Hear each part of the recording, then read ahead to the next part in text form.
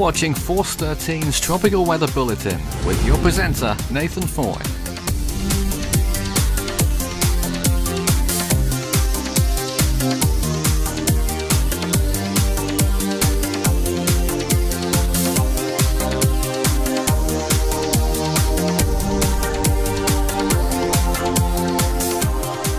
Hello and welcome. This is Force 13 Live. Hello, my name's Nathan Foy. Oh, I'm here. And I'm also joined by Devon and David at this hour. The current time is 10 pm here in the UK, 9 pm UTC.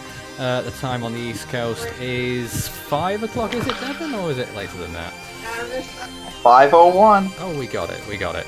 Uh, and hi, David, on the East Coast of Australia. How you doing?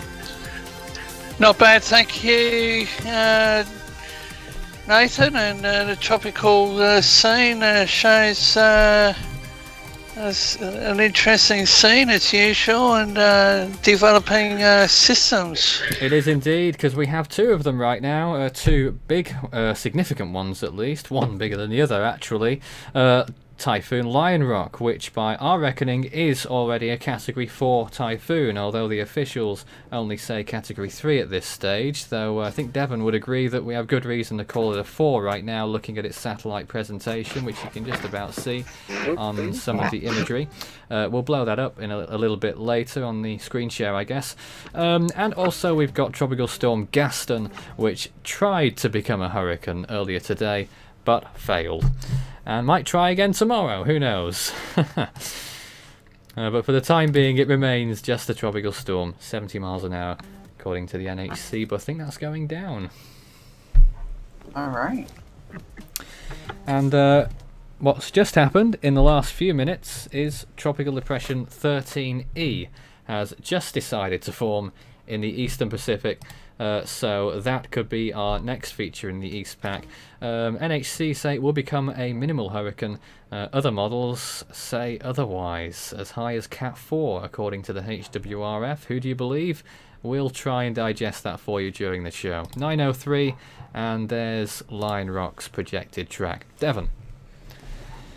And Lionrock is probably the most significant concern right now. Um, you can see if I pulled it up on the screen share or not. I have absolutely no idea if anyone can see this. Yes, it's right there.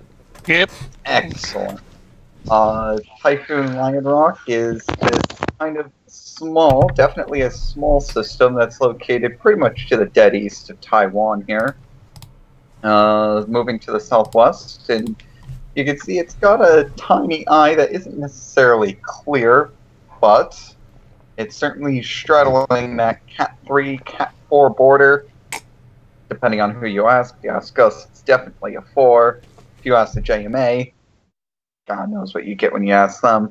They actually um, say it is a Cat 3, barely. excellent. Um, Lionrock is probably the most significant threat out of any of the, I don't know, 10 tropical disturbances that are currently active. Now we have some ridiculous number. There's a few not as much as last week. Um, though I must Mm, oh. say, looking at that wide imagery there, I don't really feel does Lionrock justice looking at that. No, no. This is this is just wide imagery trying to show the entire West Pacific. Because I also kind of wanted to show this interesting blow up of Hmm. convection. I don't know if that's supposed to be 14W or whatever. I think it might be. Uh, if it isn't, I don't know what is. And I know that there's also a TD that just got designated by the JMA. Um, certainly not designated by the ATCF.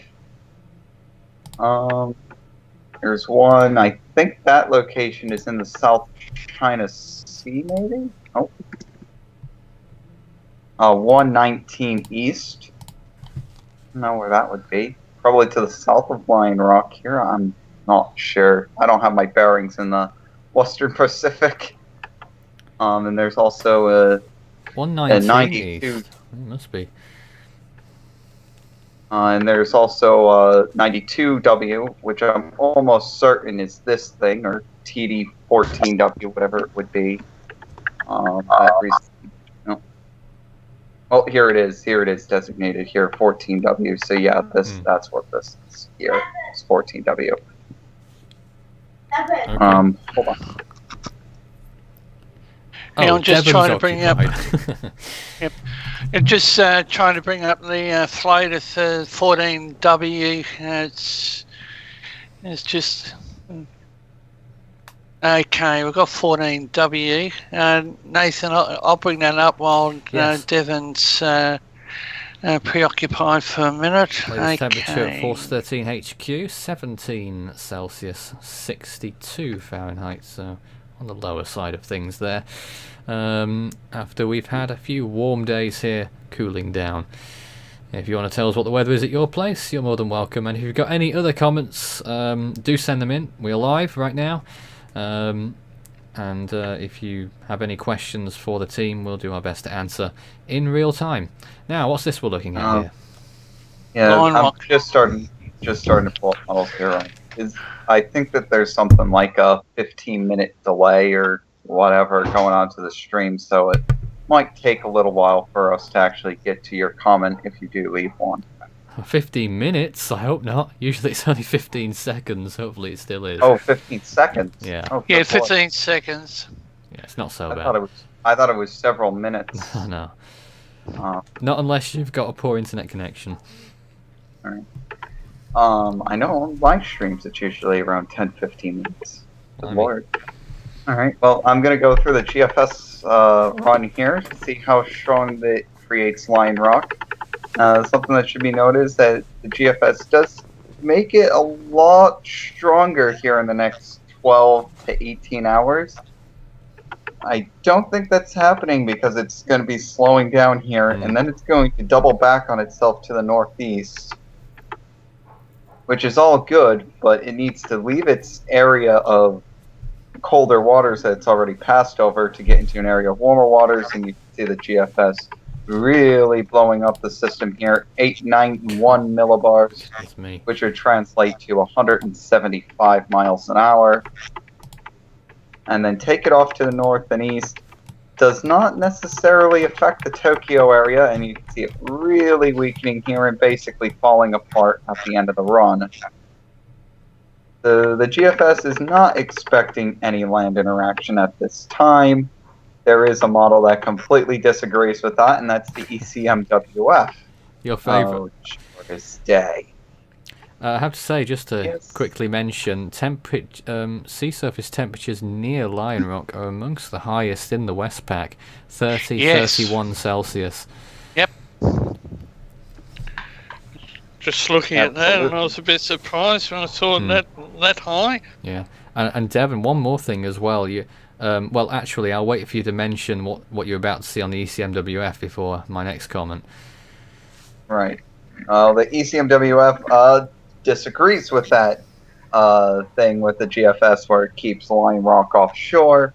Uh, the ECMWF does predict a landfall and uh, a weaker typhoon than the GFS. The ECMWF only predicting a Weaker. probably moderate Cat 4 there with that pressure. Only. and then uh, it brings it directly into the Tokyo area as a 921 millibar typhoon, which is rather significant. and wait till you hear this 26 degrees Celsius sea surface temperatures extend to Tokyo. 28 degree waters are just off the coast of Tokyo. Oh, the, the waters are there. That doesn't Yep. that doesn't surprise me, especially with the lack of tropical cyclone activity that we've had in the Westpac.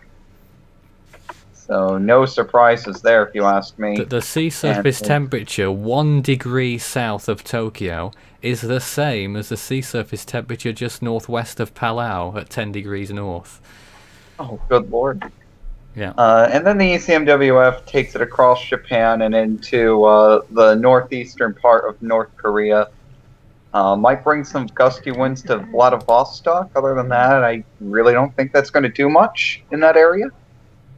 Um, but the ECMWF definitely predicting a rather significant uh, typhoon affecting Tokyo in five days. Um, I think we're going to have to wait to see how the storm behaves when it cuts back to the northeast before we can say any kind of definite landfall or landfall area, but uh, definitely a scary situation there Hmm. if the ECMWF is correct. Lynn, Devon, you're looking at the Joint Typhoon Warning Centre chart.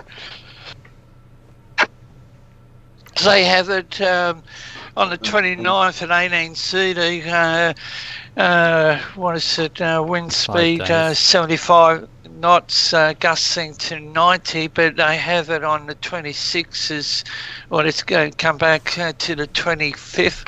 18 CD, 105 gusting 130, but then Oh wait, uh, so they've changed that massively because they were saying 120 miles an hour on five and day five, fla- uh, the last update. Yeah, and now they're only saying 85 miles per hour at day five. I've never seen anything Um, like that.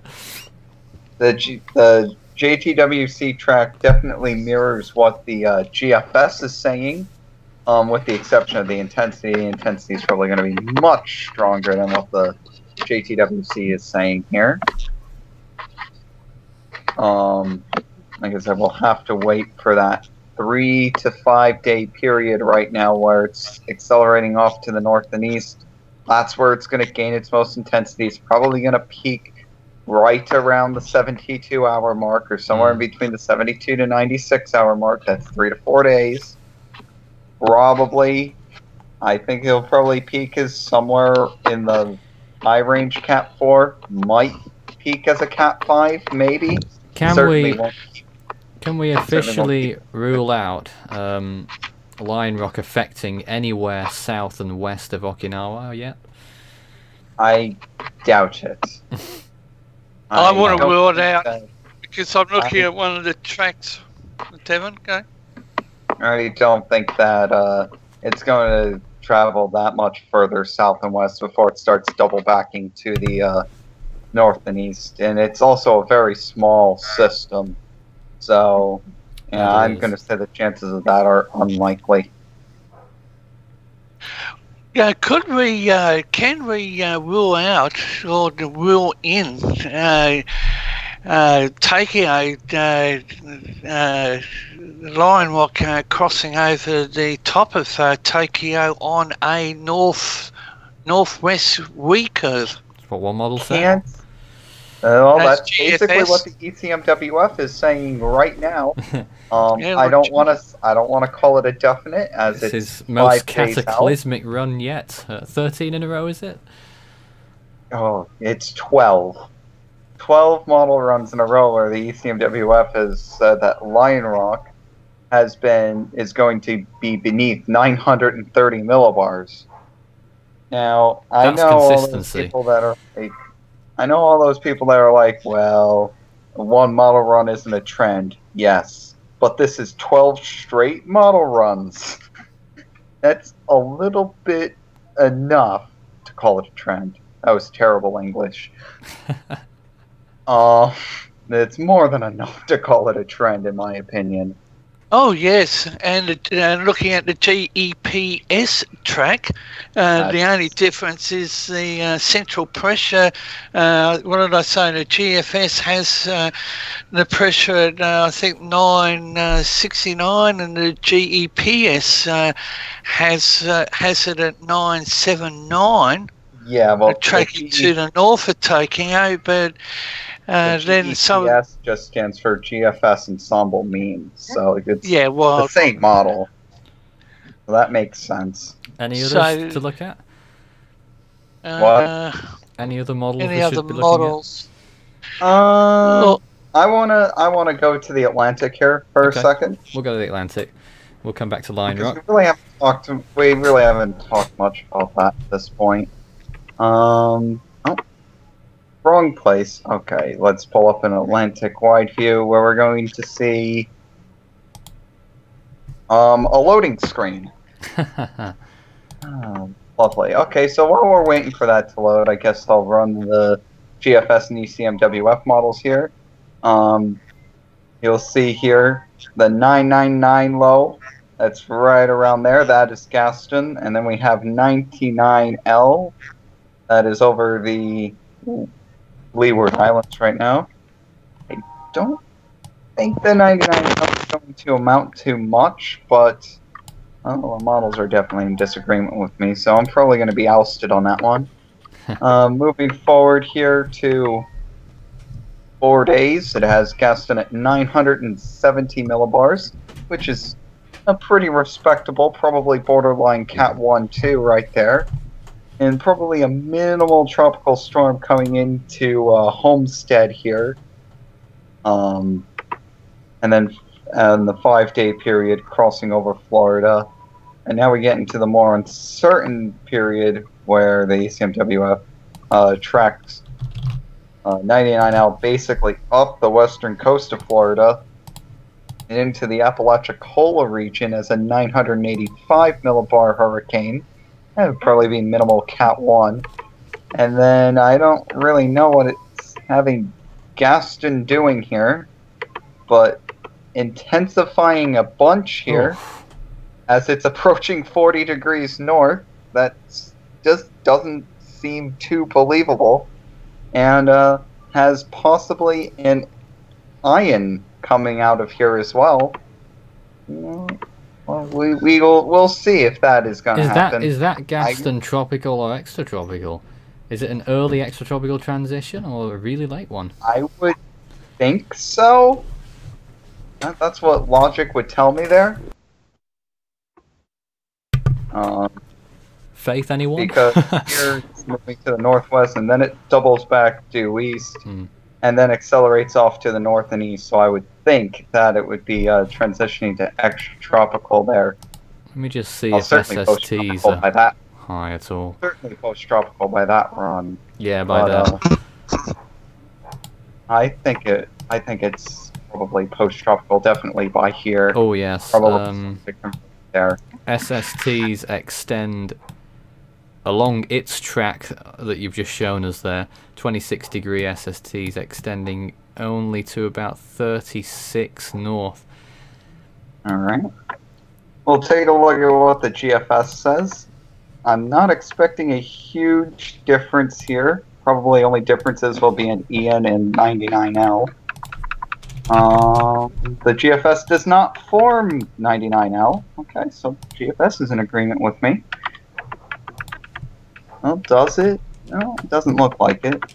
And then the GFS calls for uh, potentially quick intensification of Gaston here from day 4 to day 5, intensifying from 980 millibars, minimal hurricane, to 955 millibars, which is a borderline Cat 2, Cat 3 in just 24 hours. And just like the CMWF, start has has it intensifying as it turns off to the north and east there to 942 and intensifies further to Wow. 933 as it continues off to the north and east. Now, when was the last time we had a storm of that intensity in that location? Katia, maybe? Was Katia that strong? No, Alex, maybe. No, I don't even think Alex is that strong. And uh, due to uh, Hermine not developing out of 99L here, due uh, according to the GFS, we have uh, Hmm. Hermine Oh, uh, coming off as a tropical wave here off of Africa. When's this now? Uh, This next way week? out in the run. Next way week? out in the run. Yeah. Past 10 days, I think. Next weekend, then. Yeah. I think we need to apply some caution to that uh, particular model when uh, looking at the other ones for Gaston. Because uh, Could well one, be a, a uh, weak one- TD there off the coast of the US, but uh, nothing Yes, more. I did. I did see that too. I doubt that'll be tropical. one model shows Gaston uh, heading towards uh, what the east coast. Not just the Gaston, North I wouldn't have Florida? Thought. Wouldn't be Gaston. The only threat Gaston's for, going Well, to stay. the only threat for Gaston's going to Gaston's stay Bermuda. well to the east of Bermuda. Well, I'm not convinced Well- it will be all that far east of Bermuda, but it's not likely Bermuda will be affected, but it is a small possibility. Uh, now here's the NavGem model, which is usually in line with the European model. And we can see that with the development here of 99L. Oh, I think this Gaston. is going to be an interesting one if it's like the one I saw not long ago. Has it changed a bit? Oh, yes, a little bit. Uh, 955 millibars on the MSLP graphics, so that is an interesting strength system. And here we can see Yeah. three storms: Yeah.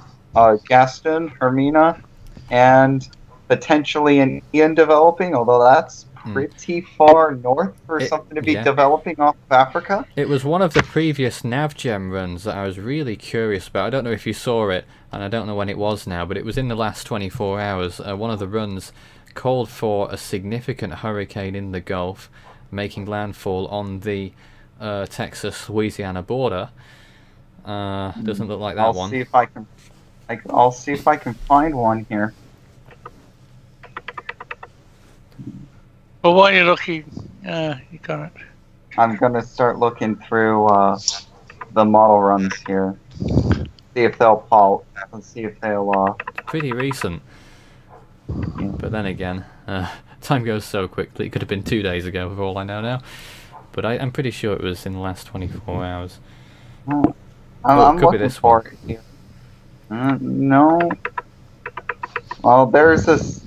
That is Oh, this the a- one that you're looking for here? No, that's a different one. I That's a different one. I think it came after that one actually, so uh, maybe it's not on there. I don't know. Maybe it wasn't the NavGem. it wasn't. Yes, but uh, curiously, right here at the end of the run, three systems here predicted by the NavGem. A powerful Hurricane Gaston, probably a Cat 3, Cat 4 there, maybe even, Hmm. considering this is the MSLP graphic. A minimal hurricane into the Apalachicola area, again in the in line with the ECMWF, and potentially a TD strong tropical wave or something coming off of Africa here. Orlando, location- hello. Hello. Go ahead. Nice of you to join us, Orlando. Uh, any thoughts? So, um, my thoughts on the Lionrock. It's a very interesting storm. Um, it does have the potential to be um, a bit catastrophic for um, Japan in general. And for 99L, it's starting, its convection is starting to decrease. But um, the ECMWF and um, GFS still try and form it, but not as strong as they were yesterday. Yes. Um, okay, the next one I'm going to direct to Devon then. Um, Garrett sent a message a few minutes ago saying, I think 99L would form because it's going to move by sheer grow convection, develop into a strong tropical storm by the time it nears Florida since it has very warm water. So, explain, I assume you're still of the opinion that it won't form at all. Explain why. Um, well, right now uh, you have 99L, the strong tropical wave here, and I will admit it's a pretty decent one. It wasn't anything three days ago, but now it's finally gotten back a little bit. Um, but skirting along the northern end of the Greater Antilles here, not necessarily Puerto Rico, but definitely Hispaniola and Cuba as well. They have uh, very, very tall mountains on those islands. They extend up over a mile, I believe and they'll just tear any system apart, especially weak storms. Uh, a couple storms that, that uh, come to my mind, uh, well, one especially is Tropical Storm Emily back in 2011, which was seemed like it was just going to go across the Central Caribbean, and it just got lifted into Hispaniola, and it just tore the entire system apart. You couldn't notice anything of it. Listen, Eric, But some storms have miraculously survived. Hello, everyone. I'm here. That's, that's Hank. Good evening, Hank. Hank, good evening. Live event, whatever this is. Uh, what do you think of the current uh, tropical situation there? Uh, frankly, I'm kind of concerned, actually, especially um, when it comes to 99L, because I've been seeing, you know, with the Euro and the CMC have been saying about the storm. Euro wants to take it, last I saw, uh, up towards the Texas Louisiana border, uh, just east of where Rita made landfall. And um, CMC, I believe, took it closer to Pensacola. But either way, uh, hurricane landfall either way. So hurricane landfall in the Gulf, definitely not good news. Uh, Lionrock, yeah, that thing looks pretty impressive. Uh, I would not be surprised if we see uh, a Cat Five pretty soon. Potentially. I am back. Yeah, uh, what, what is everyone's thoughts on whether Lionrock will get to Cat 5? I've Possible. already expressed mine. Sorry? Devon? Already expressed mine. Yes. Looks like the eye is starting to cloud over a little bit, but you know, looking Good very impressive. Could go either way. the, the stalling isn't going to help though. It's already moving pretty slowly. I'm not sure how fast exactly, but it was 5 miles an hour a few hours ago, and I'd say it's probably about the same, if not just slightly less. So uh, Yeah, this source says three miles an hour southwest. That would also make sense. Um, JTWC says seven. oh, Interesting. I can't even agree on movement now. Never mind Nope. strength. Um, okay, well, there's Lionrock and Gaston on the left hand side of your screen, just to remind you that they're there. Um, and uh, what are we going to move on to next? Should we take a look at uh, the shear map for the Atlantic, perhaps? Yeah, I can get those up.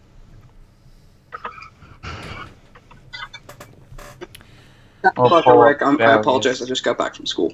to Oh, check the latest conditions over there.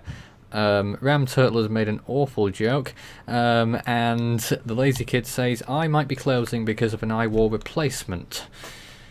Any inkling of that from Lionrock?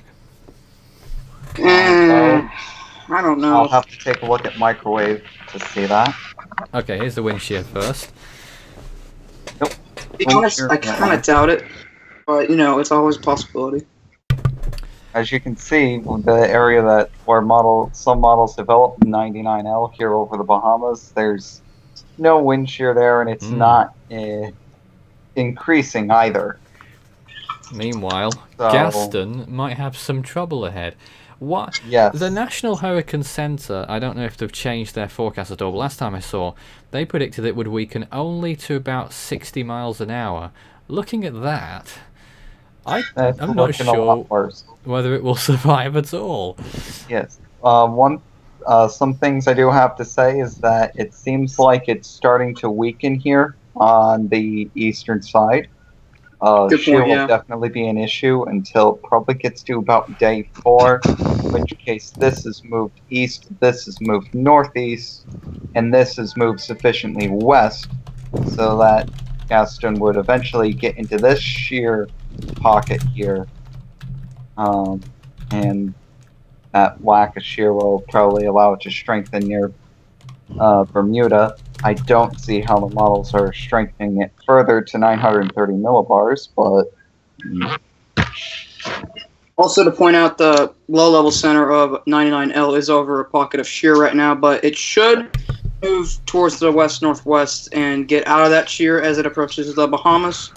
And the mid level center of 99L is closer down towards the south, uh, just to the west of the Lesser Antilles, but that is kind of becoming irrelevant at this point.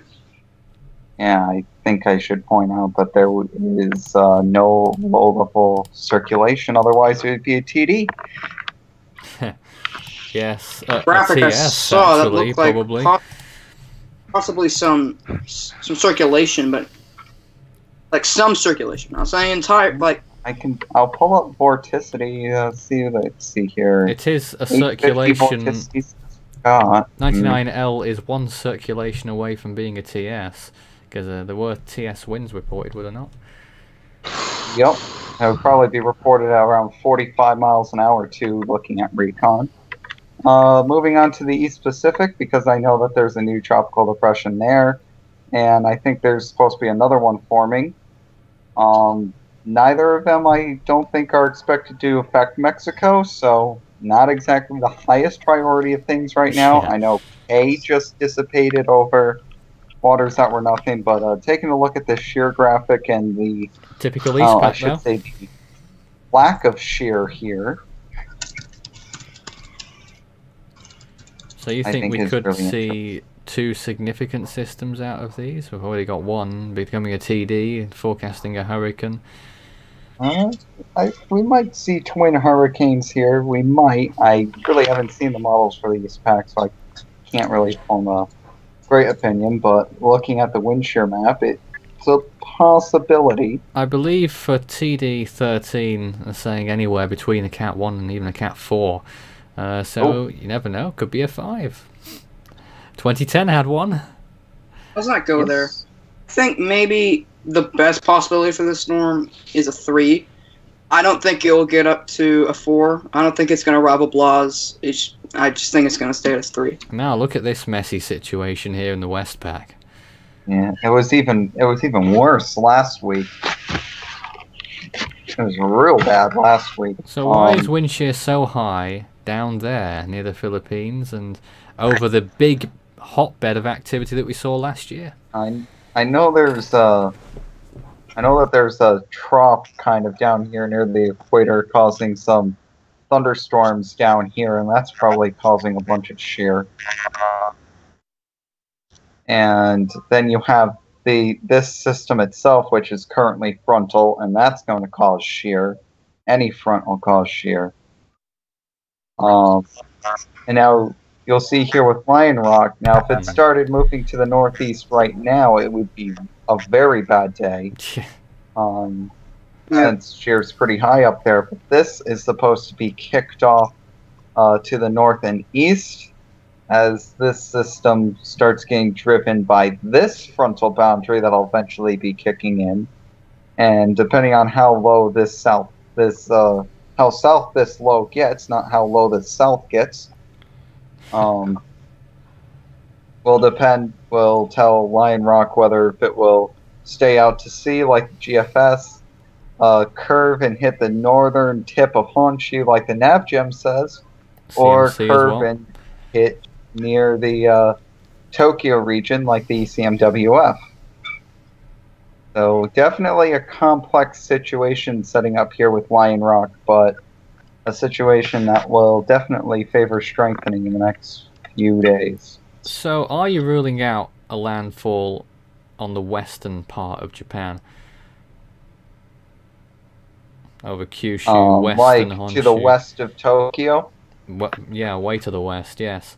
Yeah, I I know that mo- that uh, some models have uh, been hitting it in around the Kyoto area, but uh, that seems to uh, have been ruled out. I don't think we're going to see. Uh, now taking a look at the models, I don't think that we're going to see a landfall to the. I would rule out any landfall to the west of the M- Mie prefecture. I have no idea how to pronounce that. M I E. Don't know how to pronounce that. Rather you than Mai- me. The Mai prefecture. I doubt that any landfall is going to make it to the west of that. Um, west of Tokyo can probably still happen, but I would rule out anything to the west of me. I've just got some uh, news coming out of um, where are we here? Indiana, I believe. Tornado warnings are in effect. There's been a confirmed large tornado um, over. Woodburn, or nine miles northeast of New Haven. I've no idea where that is, uh, but if you do, then uh, take cover. I think that New Haven is in northern Indiana or southern Indiana. Let no, me that's- check. There are Then four tornado warnings right now in Indiana, one north of Indianapolis. at least I see five actually. Th- This might be a double warning up here. One uh, issued as one's Just about to to just to mention the latest there out of the US tornado warnings.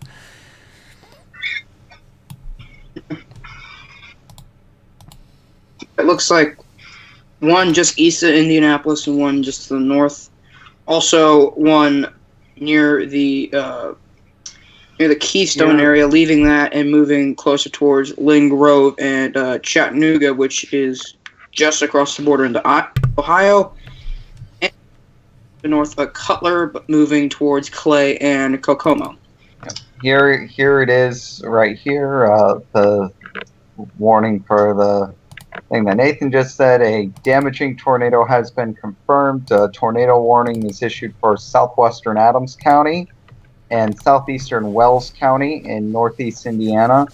Uh, a confirmed tornado was located near Mount Pelier, or nine miles to the south of Bluffton, Indiana, moving east at 25 miles per hour. And the tornado is expected to be near Berne and Geneva, Indiana, at around 5:55, and around Monroe at around six.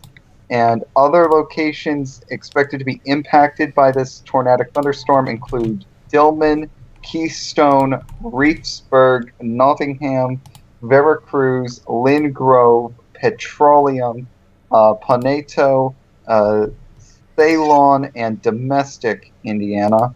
I doubt I pronounced all those correctly, but mm, Oh, that's not good. Uh, just one second. but uh, yeah, there's the Okay.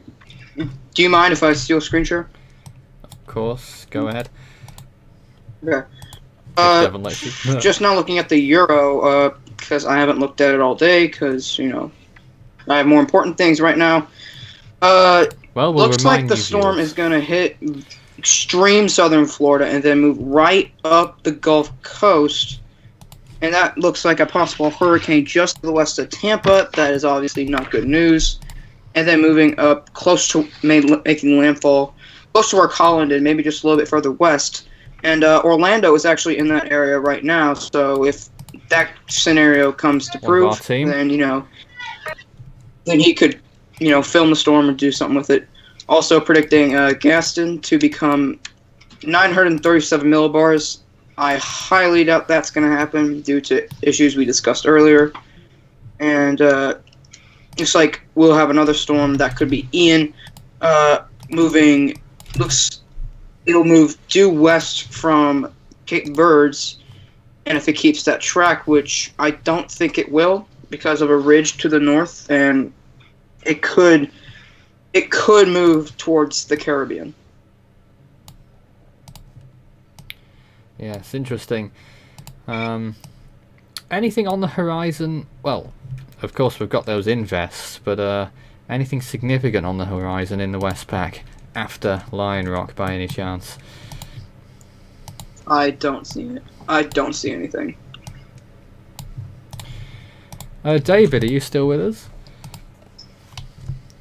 I'm still here, and Any news I'm over at your neck of the woods?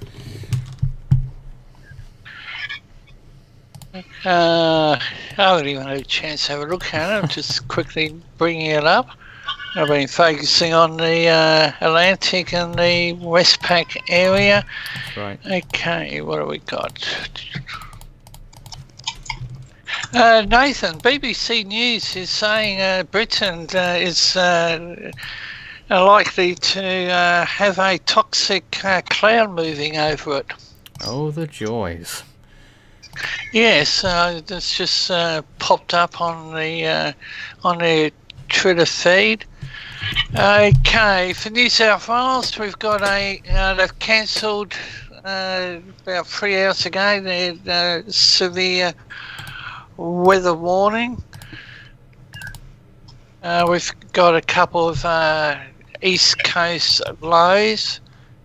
Uh, a strong wind warning is current for the entire Sydney coast waters, uh, the Byron coast, uh, coming up the uh, northern uh, New South Wales border towards, sorry, northern uh, coastal region of New South Wales up towards the Queensland border.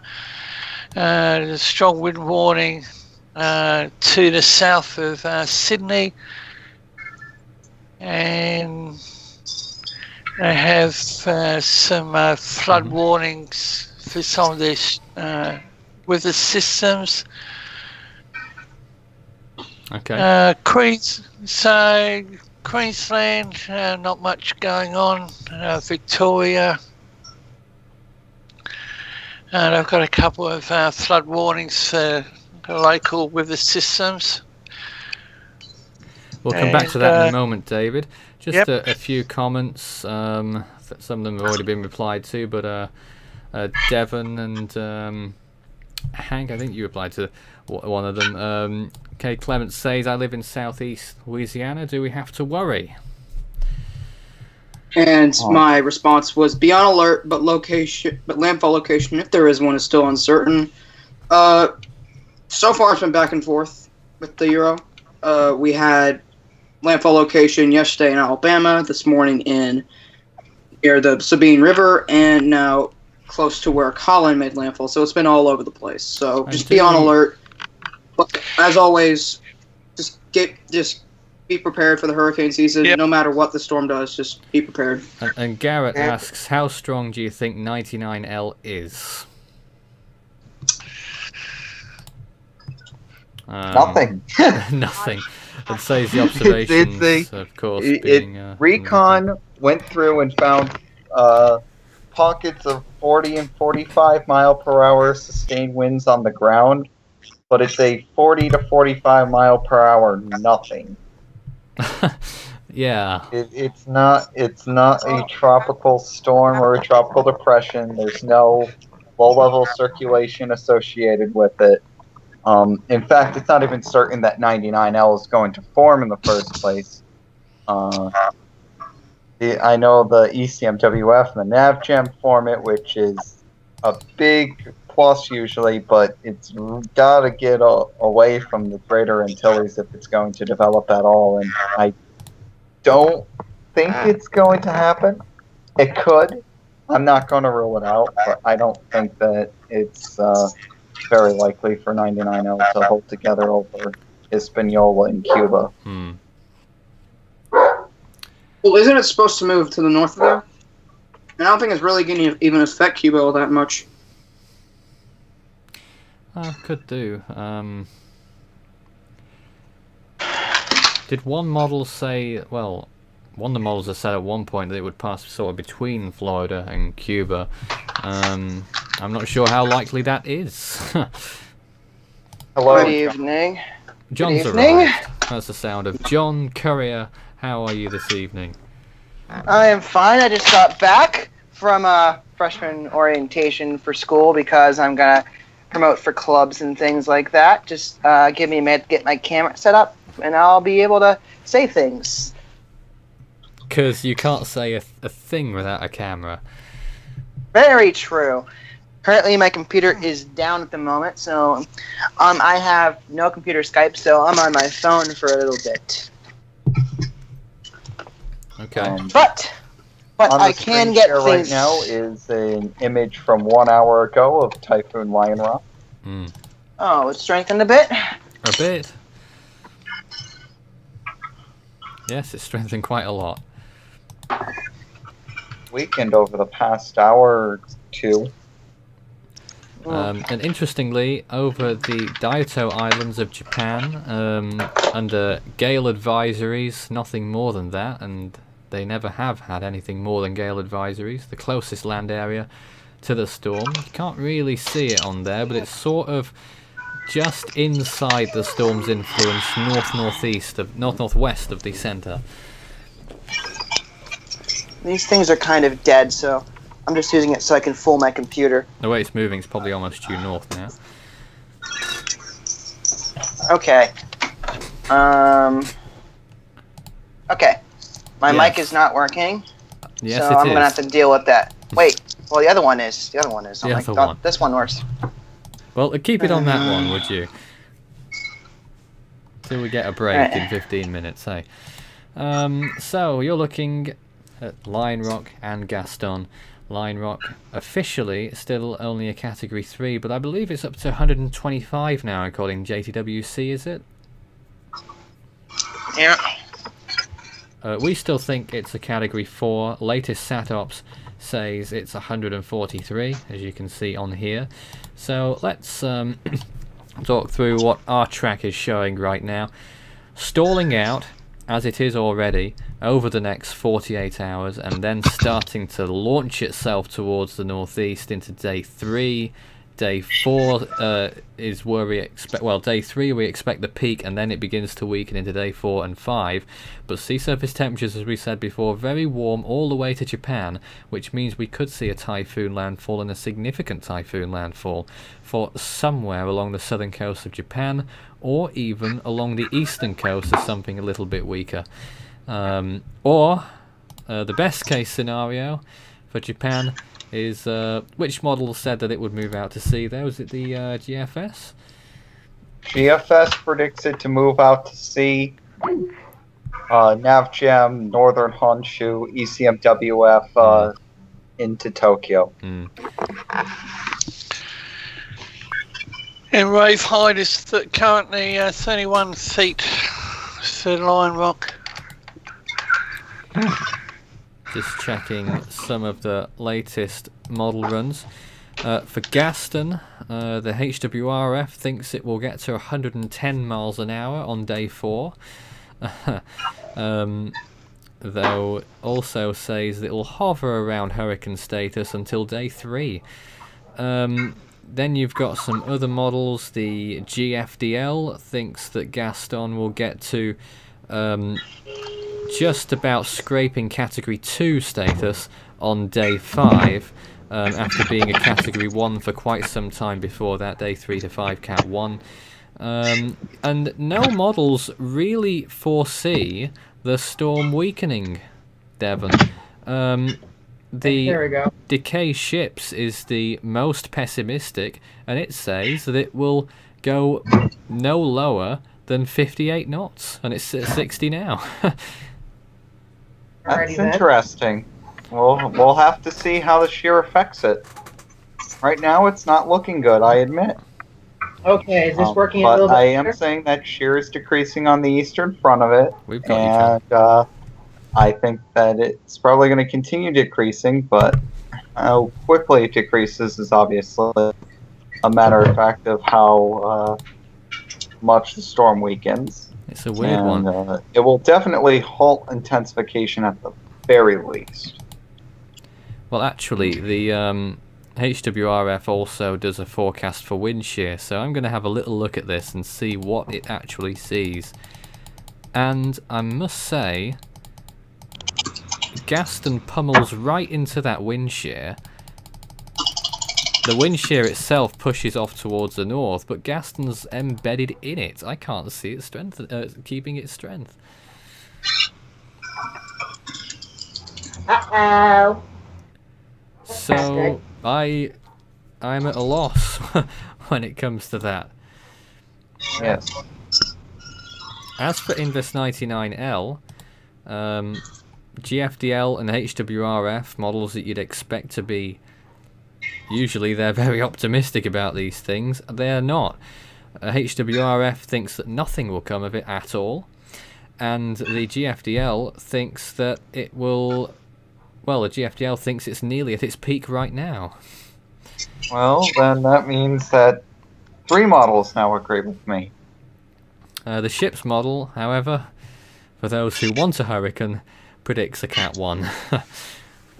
Of course it does. Good old ship's model. Yes, the same model that said that yesterday that there was a basically even odds of Gaston becoming a category 3 at this point in time. Good lord. Oh my Yeah. goodness. Crazy. Well, um, what else haven't we looked at today? Don't look at me, rather. But that's being cheeky, and we're not trying to be cheeky on live air. What are you talking about, Um, John? I said, well, you haven't looked at me today, but then again, I'm trying to be cheeky, which is coming Right. off bad.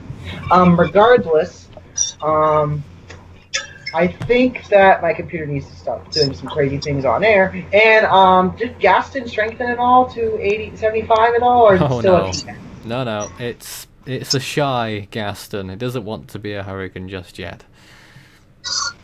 Well, regardless, you might as well take a look at what the models say. So let me pull those up. I did just say yes. Um, Well, some of the models said. Uh, I didn't mention the GFS or the ECMWF, but we did cover that earlier on in the show. Well, it's always worth a repeat. I'm guessing.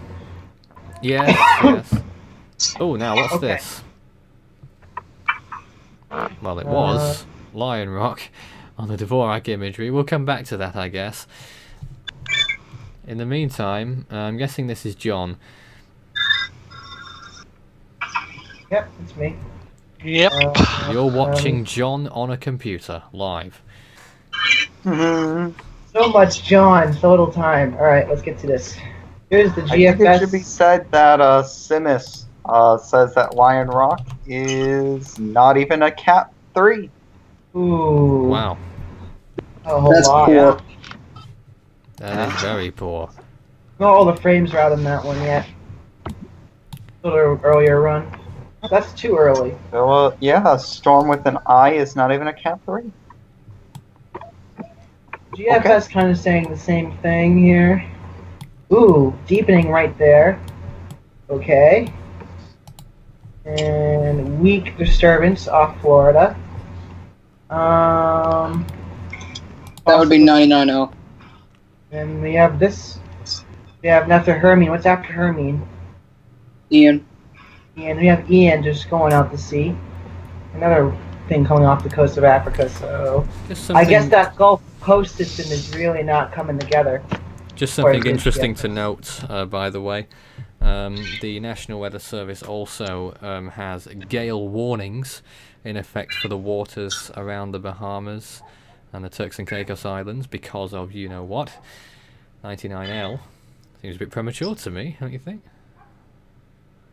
There's the ECMWF, which is our favorite model. Well, some of our favorite models. ECMWF still stubborn on a looks like a category one or two into Florida, and Gaston deepening like hell as soon as it Yep, gets over yep. by Bermuda. Um, another another Cape Verde system, two Cape Verde systems coming off. We we possibly could have that's long um, range. You think that this is still tropical at this point? Probably not. No, that's Uh, pros. You have one, two, three systems active in the Atlantic, according to ECMWF, at 240 hours. We should do a, a poll on the uh, on the stream. What is everyone's favourite model? It's time to go to Crazy Land, folks. Crazy Land. Here's the CMC, most people's favourite model. Um, CMC develops Gaston again, re-strengthens it, and then not very much actually. CMC is actually not being very aggressive. Oh, that's a very small hurricane right there. tiny. It's like Tracy size.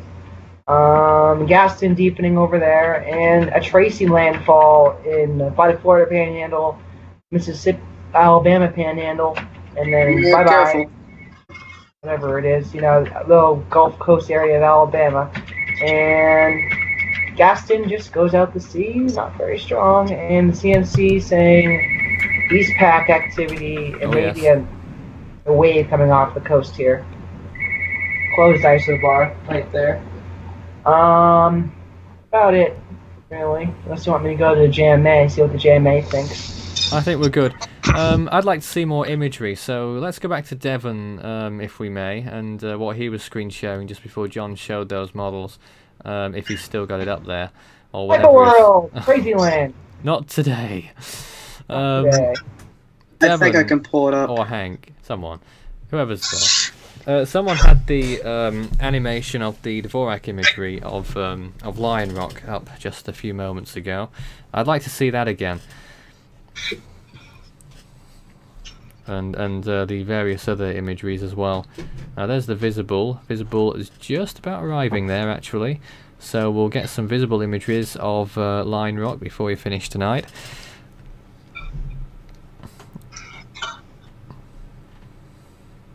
There's Here, I'm just gonna open up these three. So the imagery just There's the about visible. yeah, just about arriving. Day breaking over Typhoon Lionrock. Um, just the gale advisory for the Daito Islands of Japan, and you can see them on that on that map there. Those tiny islands to the north of the storm's influence. Um, under a gale advisory, and they had much worse conditions, I would expect, a little bit earlier when it was intensifying. The rest of the islands under no real threat, it would seem, at this stage, but that could change depending on what happens, though we aren't expecting that that part of Japan will see the worst from this storm. It's going to be much later on. But anyway, looking at Lionrock itself, it's been trying to get that grey area banding all the way round, and on one or two frames it managed it, but not quite, Devon. Ooh. I don't think Devon's here. It doesn't seem like he can talk to us. He might not be able to talk. Um, but, uh, well, not too far away from becoming a significant storm super typhoon, not yet. But uh, Lionrock trying its best, and maybe it will succeed sooner or later. It's got plenty of time, and it's certainly got really, really warm sea surface temperatures, amongst the warmest in the West Pacific, is what the storm is tracking over right now 30 to 31 Celsius waters. Um, but that will decrease the longer Lionrock lingers. Um, I'm looking at um, Lionrock right now, and it's a very compact system. I think that's been the case for the majority of its life. Um, what could have caused it to be so compact, rather? Uh, Actually, on this imagery right here, you can see the banding around the eye pretty well. It always was compact, though, wasn't it? Yeah. It's just how they start, isn't it? Well, it isn't tip size. It isn't tip size, no. Well spotted. Oh wait, someone stole the screen share. We're going to take a short break. We're going to be back at the end, at the start of the next hour, to talk more about Gaston and Lionrock and the tornado situation over in Indiana. Stay tuned. This is Force 13 live. Back soon. Uh,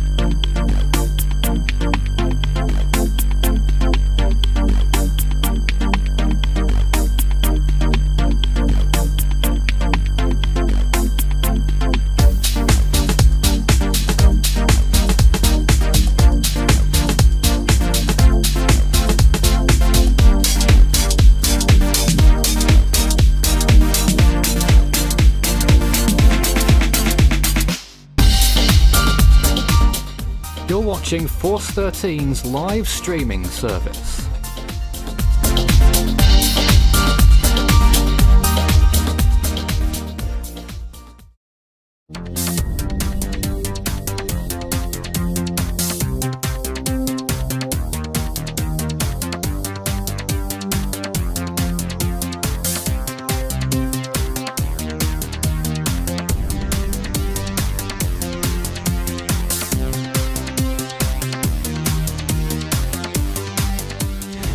Watching Force 13's Tropical Weather Bulletin with your presenter, Nathan Foy.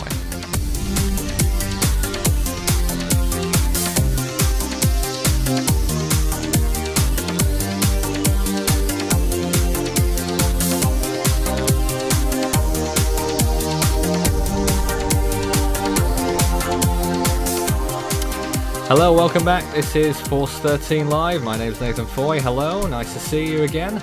And uh, hour two of our live coverage of um, Tropical Storm Gaston and Typhoon Lionrock. Uh, this is going to be our final planned hour tonight. Um, I don't foresee us having to go on any longer than this for the time being. Uh, so if you do have any questions during this hour, please let us know. Joining me is the Skype team consisting of several people John, Hank, Devon, David, and I'm not sure if Orlando's still there or not, but he was there earlier and he might pop back in later if he's not there right now. And my camera's green for some reason. And John's camera is greeny yellow. Uh, and what you can see in front of you right now uh, is the rapid scan imagery, the wonderful Himawari satellite, showing There day breaking over what is, well, some people might call it a category 2, some a cat 3, some a cat 4, Lionrock, whatever its intensity, a significant typhoon, and a significant What long- call it? a significant long range threat to Japan. Who wants to begin? I'll go. This is literally the least prepared I have been for a live stream in years. Well, let Hank go first then. All I'm gonna call things, or the hyper world. My technology is not the best, so if I have some trouble pulling some things up, I apologize. Uh, so I'm going to start off in the Atlantic because we haven't discussed that yet in this hour. Uh, we have two systems active. We have Tropical Storm Gaston, which is a 70 mile an hour tropical storm, so on the verge of hurricane intensity. Probably won't get there for a while, as the National Hurricane Center isn't predicting it to become a hurricane until Saturday. Oh, that wasn't initially the case, but due to strong shear, uh, it is now forecast that this system, once we get into uh, the weekend, will start to intensify, possibly to a Cat 2 by the time we get to Monday.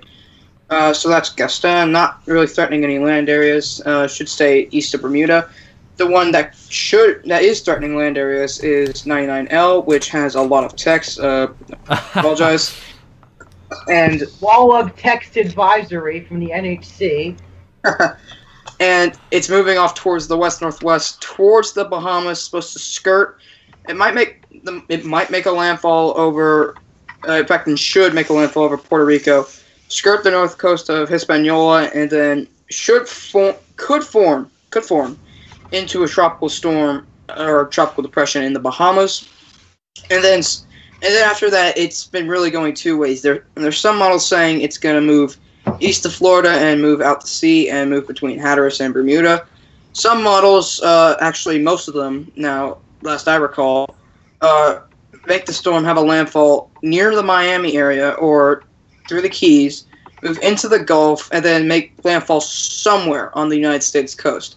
Uh, ECMWF uh, predicted an Alabama landfall yesterday, predicted a landfall near Sabine River, the Texas-Louisiana border this morning, and is now saying a landfall near uh, the Panama City area to the east of that, similar to where Colin made landfall uh, back in June, and uh, could be a tropical storm, could be a Category Three. That's I believe yester- yesterday's run run at a Category Three. I don't think that's going to happen. I think we'll probably have a Cat One uh, at best. Now this is very uncertain at this time, so don't so don't panic just yet because this is a long way out, and replied to somebody earlier saying, "Is it going to hit, you know, somewhere along the coast?" I don't remember. I said, "Just be prepared, anyways. Even if the system doesn't affect your area, then there might be a system later on down the season that could affect your area. So just stay aware at all times. Monitor the system closely." And Yeah. if it doesn't move towards your area, then well, that's good news. And Uh, so that's what's going on in the Atlantic. The Eastern Pacific, we have a new tropical depression, Mhm. 13E. Uh, this is likely to become a storm tonight. If it becomes a storm, it will be it will be given the name Lester, and should become a hurricane also by this weekend. Uh, they'll forecast to only peak as a one. I think Gaston was supposed to peak as a two. We also have another Invest. Uh, this one has a 40% chance of development in the next two days and 80% within five days. And by the way, I forgot to mention this 99L is 60% 48 hours, Yep. uh, 80% five days. So that's all for me. I'm going to pass it off to somebody else now. yeah, I wants to talk. just want to mention some more immediate uh, issues right now as we go back to the Lionrock graphic. Uh, we're not talking about that just yet, uh, but tornado warnings. Uh, there are tornadoes confirmed on the ground, and there are tornado warnings in effect for parts of Indiana and for Ohio. Um, I'll read them out now. Tornado warning in effect until 6:30 p.m. Eastern Daylight Time for East Central Adams and Southwestern Van Wert counties. Um, a confirmed tornado was located near Monroe or near Berne, moving northeast at 30 miles per hour.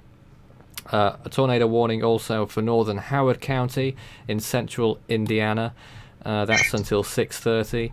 Uh, a tornado warning in effect until 6:15, so going to expire soon in southeastern Cass County. A confirmed tornado was located at 5:59, which was just a few minutes ago, 8 miles southwest of Grissom AFB.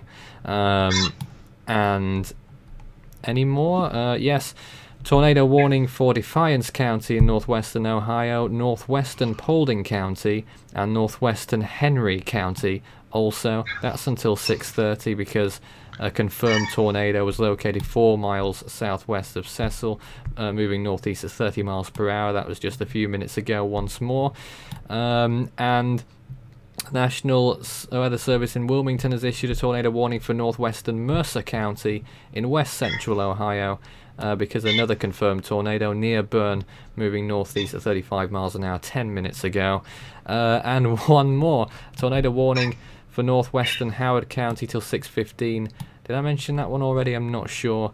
Um, and southeastern Hancock, west central Rush, and northern Shelby counties um, in Indiana. I don't know if you double these, mentioned. uh, I don't know if you all double of mentioned. these uh, warnings have confirmed tornadoes along with them.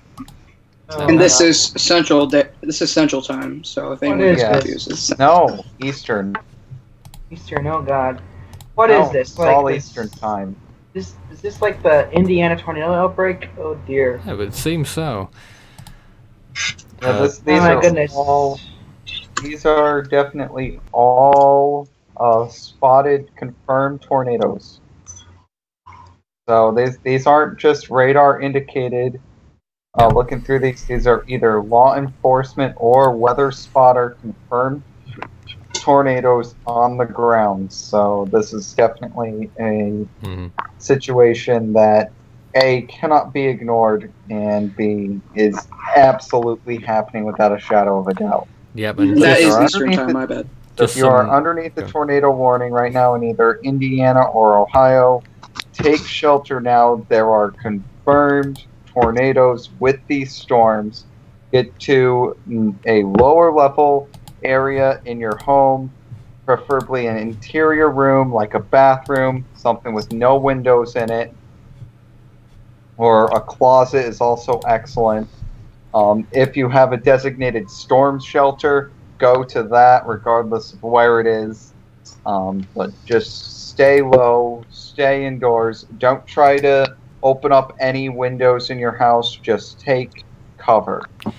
Yeah. And as we look at it on the radar there, just to note that tornado watches are in effect for large parts of um, of Indiana and northwestern Yes. Ohio, and also uh, severe thunderstorm watches in effect for northwestern Missouri and for parts of eastern Kansas, dipping into the central part of Oklahoma as well. So that's the situation over in the US, um, along with the broader image uh, from the tropics.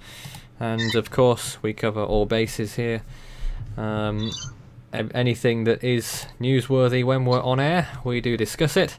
And uh, we'll keep you on top of the tornado situation as well as the tropical cyclone situation. We probably might veer more towards the tornadoes this hour because that is immediate and the storms aren't. Um, but right now, there's the imagery. Day breaking over Lionrock, which is an unknown strength storm. no one really knows how strong it is. A lot of question marks. What does Force 13 SatOps say? Well, SatOps did say 143 miles an hour last check. It might have gone down since then. We'll be conducting another check in just a few minutes.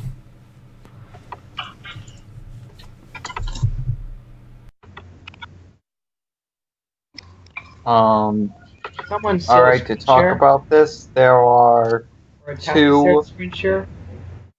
there are two watches in concern right now.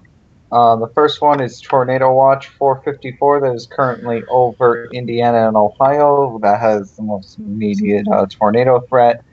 This watch is in effect until 9 o'clock Eastern Time. Uh, spotter confirmed tornadoes are in this, so definitely a significant threat.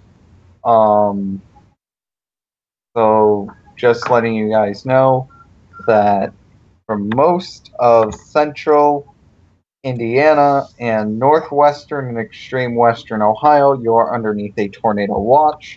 There is also a much larger severe thunderstorm watch that uh, extends across southeastern Kansas, uh, extreme western uh, Missouri, including Kansas City, and extending further back into northern Oklahoma as well, but the majority of this watch is in Kansas, including the uh, Topeka and Wichita areas. The tornado threat is low, but the hail and severe wind threat is definitely high. Uh, scattered damaging wind gusts up to 70 miles an hour possible, and isolated large hail events up to 1.5 inches in diameter is also possible. This is in effect until uh, 11 o'clock Central Time. And those are the only two watches currently out. David. And Nathan, uh, just uh, following uh, the uh, Twitter platform, uh, breaking news out of Italy: the uh, death toll from the major quake is now 159, and search uh, for survivors uh, continues. Oh, so that's the latest on the earthquake. It's now 159. So lots of things going on at this moment in time. Um, Ah, so much. And uh, just to mention, the SatOps has updated, and the strength of Lionrock has determined to have gone down slightly from 143 to 140. Oh, a very strong system. Now, um, some, the eye looks like it's, the eye looks like it's a bit obscured. yeah, it does on the visible imagery. Uh, some new people may have joined us in the uh, in this hour, so um, I don't know who might want to go first and talk about what they foresee uh, in the future for 99L. I already spoke, so someone else do it. Well, let's start with the more interesting forecast, because you're not going to get much out of me. Hey, It's wonder we're getting right. anything out of you. All right, then I'm going to have to steal the screen share then.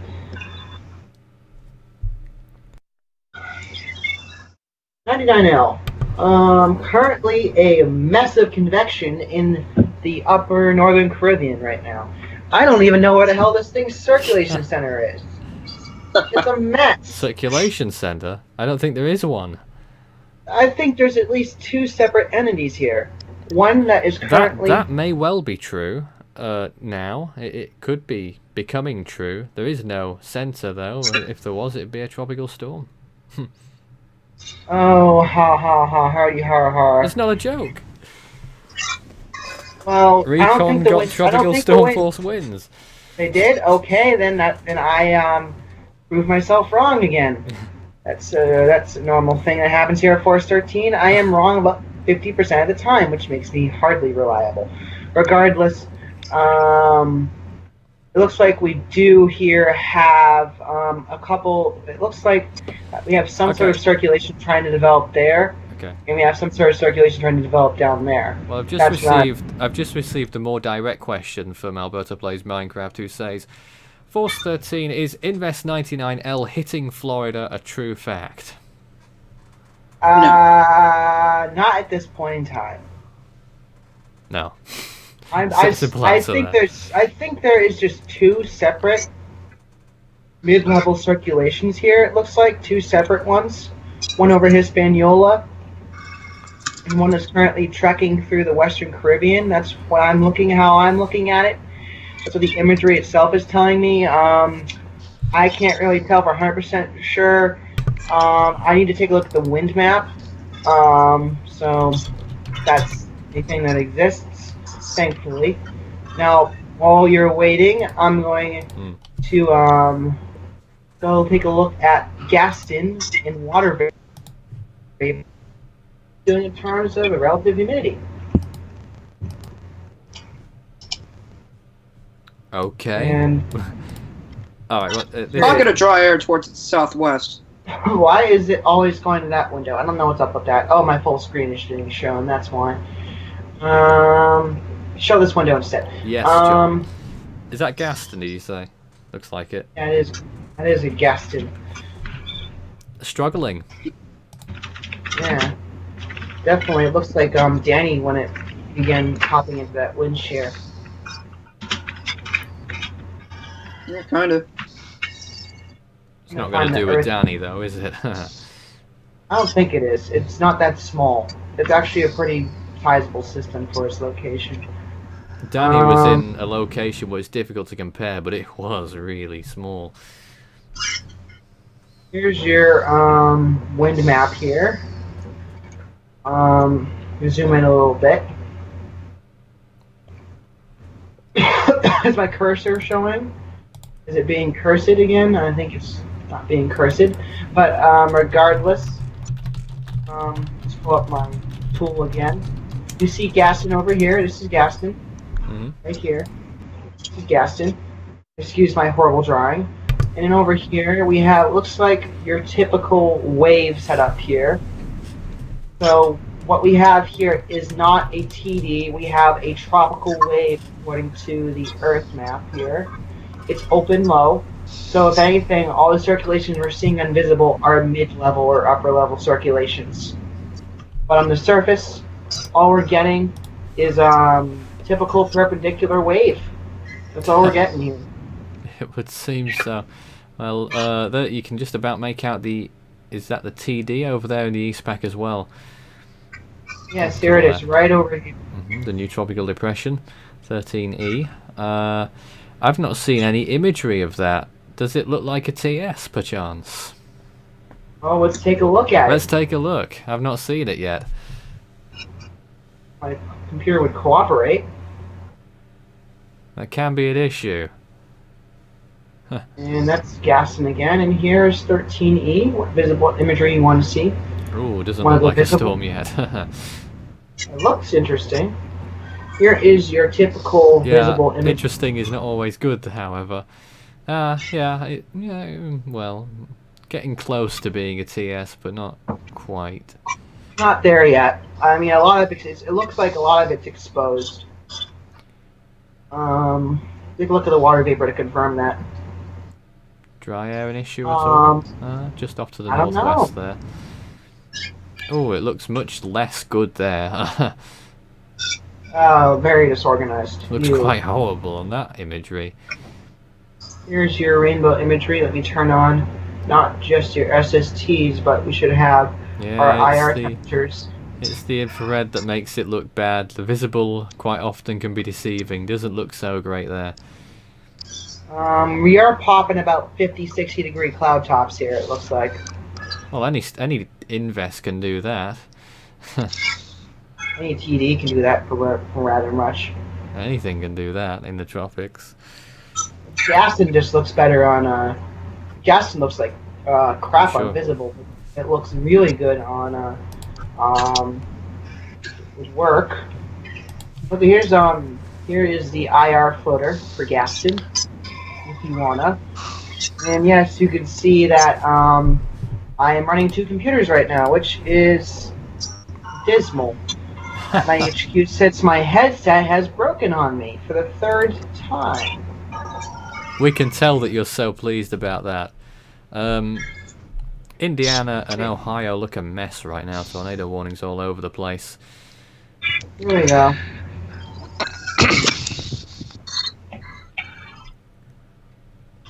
Um, sitting over 27 degree water, so um, your water temperature isn't much of a concern.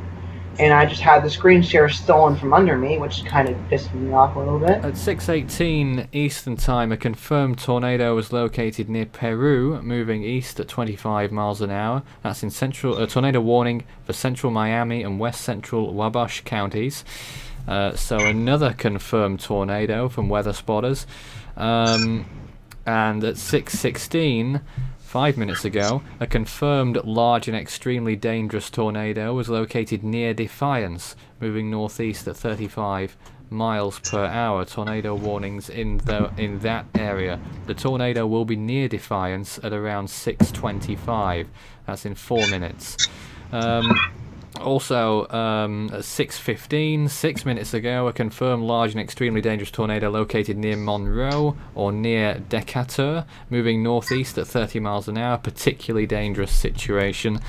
Um, it's all going on there at the moment. Southern Miami County in Indiana, tornado warning. Um, and several others that I mentioned earlier. So uh, do monitor the local situation if you're living in um, central and eastern um, Indiana into western and northwestern Ohio. Uh, a dangerous Um, situation unfolding there this evening. Yes, very true. Um, according to the um, floater I'm looking at, uh, We were looking at one. What is that now? That is Lion Rock. That is Lionrock. Um, but I was waiting for the longest time to speak. Um, here we go. Here we can see here. Um, Gaston is popping 70 degree cloud tops. It looks like, but you know that's typical for where it is. And it looks 70 like, degree cloud tops, you mean yeah, 70. Um, negative 70. yeah, you know what I mean. Um, regardless, it looks like um, it really looks like that the eastern, sorry, western side of the system has begun to degrade more or less. There doesn't seem to be a western side of the system anymore. Looks like the center. It's just the center. Maybe it's the uh, dry air starting to really get in No, I don't, Gaston's uh, I'm not system. sure it is John- dry. I think it's wind shear. wind John, shear. I'd like to uh, butt in here. Is uh, we've got some more breaking news here. At least it's just breaking to me now. I've just found this out that we have uh, two particularly dangerous situation uh, tornado warnings going on here in uh, northern Indiana. The Uh, first one is a particularly dangerous situation for a tornado warning for northeastern Defiance and northwestern Henry counties. A confirmed large and dangerous tornado was located near Defiance and moving northeast at 35 miles per hour.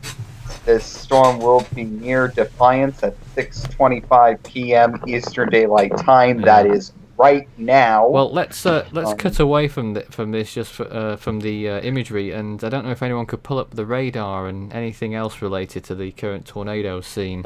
Let's talk about that for a little while.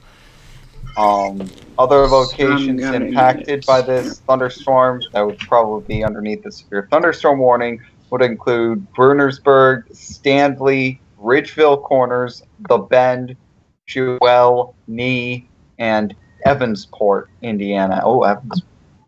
Okay. So that is a definite significant threat, and there is another particularly dangerous situation tornado warning in effect for east central Adams County and southwestern Van Wert County.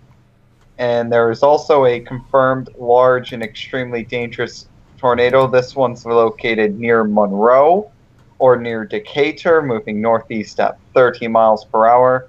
And locations impacted will include Middlebury, Willshire, Wren, Pleasant Mills, Glenmore, Schumm, Ab- Abanaka, Dole, and Rivarre. and Um, whilst all this is going on, uh, Indianapolis is under a uh, flood advisory or flood warning, one of the two. Similar Yes, colours. uh, the areas just to the north of Indianapolis are underneath the tornado warning, as far as I know, or at least were. I don't know if that's still ongoing or not. East, south, It's moved off to the southeast. That that that cell that you can see on the screen there, that's a tornado warning. As Looks well. like a looks like a definite tornado about to hit the Manilla area. Yeah. So Manilla and Homer look like to be the biggest threats. Further down the line, New Salem, and maybe the Alpine and Laurel areas.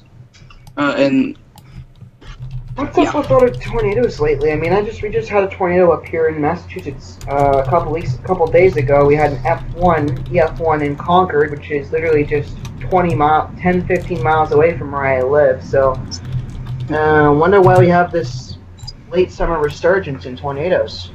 Yeah, and a new severe thunderstorm warning for this cell. Uh, that's moving towards the east should affect the areas of Buena Vista, Amberg, and Peppertown.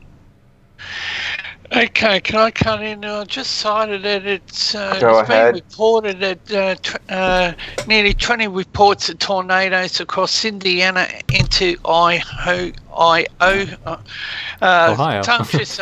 Tom just, yeah, this afternoon, outbreak continues. So uh, they're reporting, uh, it's been Yeah. reported 20, right in 20 front of our tornadoes so far. Yeah, that's what Uh, we've been we- discussing we the past have a- uh, couple of minutes. Um, so other storms. So yeah, the one near the Miami and Wow, Clay, Burlington, Carrollton, Erie, Peru, Rich Valley, uh, and eventually the Wabash area or Wabash. Can you, uh, Hank, if you could go to the one that is in Van Wert County in northwest Ohio, that's the one with the PDS on it. Yep, the one year Defiance there. Uh, that is. that a west this tornado? is something that uh, there is a confirmed large and extremely dangerous tornado uh, with this cell located seven miles west of Ohio City or nine miles east of Decatur. I'm pretty sure you, that you're on the right one there. Can't really see the screen share clearly. Um, so would it be Decatur? Oh, this one. Oh, this one. Okay, so you're one to the north. Yeah. All right. So that cell, this one is moving to the northeast at 25 miles per hour. This is a particularly dangerous situation. This is not something to mess around with. Uh, the tornado will be near Ohio City at 6:35, Convoy at around 6:40, and Van Wert at around 6:50. So Ohio City, you have about seven minutes. May, uh, and you want to give yourself ample time to uh, get prepared and get down to your shelter. So I would get there now. Convoy, you have about 11 minutes, and Van has about 21 minutes. Um, some other storm, some other locations that